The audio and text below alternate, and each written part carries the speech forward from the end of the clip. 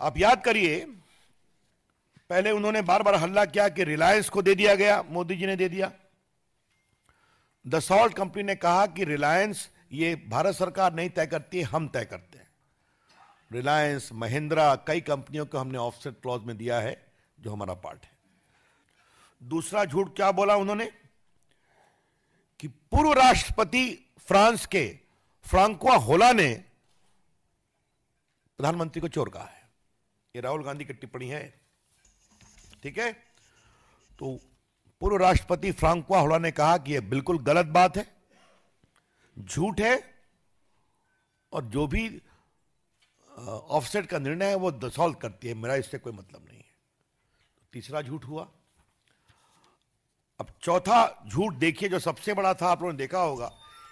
राहुल गांधी ने पार्लियामेंट में झूठ बोला कि फ्रांस के राष्ट्रपति जो हमारे अभी हैं, इमैनुअल मैक्रॉन, उन्होंने उनको कहा है कि ये डील को हम डिस्क्लोज कर सकते हैं। याद करिए आप, जबकि एक सीक्रेसी क्लॉज था। भारत के संसदीय इतिहास में पहली बार हुआ कि फ्रांस सरकार को संसद की डिबेट चलते समय ही एक स्टेटमेंट इशू करना पड़ा कि राहुल गांधी झूठ बोल रहे हैं। फ्रांस के राष्ट्रपति ने ऐसा कुछ नहीं कहा। तो राहुल गांधी ने अपने झूठ में दसॉल्ट रिलायंस को ही नहीं लपेटा, फ्रांस के वर्तमान और फ्रांस के पूर्व राष्ट्रपति दोनों को लपेटा। फिर कहा क्या उन्होंने? कि कैबिनेट कमेटी ऑन सिक्योरिटी को लूप में नहीं रखा गया। उसको भी बताया गया कि सारे फैसले हुए, कैबिनेट कमेटी ऑन सिक्योरिटी ने इसको बार बार कंफर्म किया है, उसके बाद आगे कोर्ट हुआ। लेकिन सबसे मज़ा आया राहुल गांधी की विद्वता पर, जब उन्होंने राफेल के दाम के बारे में देश को बताने की कोशिश की। और ये सब उनके ट्वीट मेरे सामने मैं उसी से पढ़ूँगा, अपना कुछ नहीं पढ़ूँगा। पहले क्या कहा? देश का चौकीदार खुला जा सिम सिंह कब कब कहता है? अंबानी को राफेल में एक लाख तीस हज़ार करोड़, ठीक है? और बाकी बात, अब देखिए उनका। अप्रैल 29 2018 जनाक्रोश रैली न्यू दिल्ली 700 करोड़। जुलाई 18 में 520 करोड़। अगस्त 10 18 रायपुर रैली 540 करोड़। अगस्त 11 जयपुर रैली 520 करोड़। तो आप देख रहे हैं उनकी रैलियों में दाम कैसे बढ़ रहा है और घट रहा है।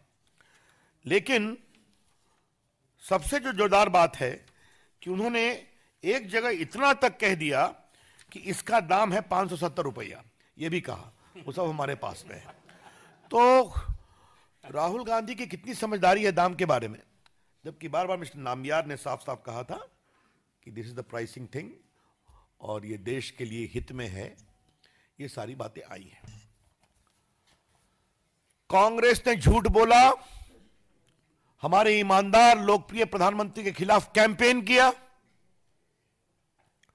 भारत की विदेश में साख को घटाने की कोशिश की फ्रांस के राष्ट्रपतियों के सामने और झूठ पर झूठ बोलते गए। आज राहुल गांधी आपको माफ़ी मांगना ज़रूरी है, क्योंकि सुप्रीम कोर्ट ने आपको फ़र्स्ट राउंड में हराया, जनता ने आपको जनता के कोर्ट में हराया, और आज रिव्यू जो आपके बिहाफ पर लोग लड़ रहे थे, आपके प्रॉक्सी तो रिव्यू को भी रिजेक्ट किया और आपकी माफ़ी पर डिफेमेशन में आपको छोड़ा है। अगर आप माफ़ी नहीं मांगे होते तो आपको नहीं छोड़ता। तो कोर्ट से बचने के लिए तो आपने माफ़ी मांग लिया राहुल गांधी। जनता की आँखों में आँख पिलाने के लिए क्या माफ़ी मांगेंगे आप?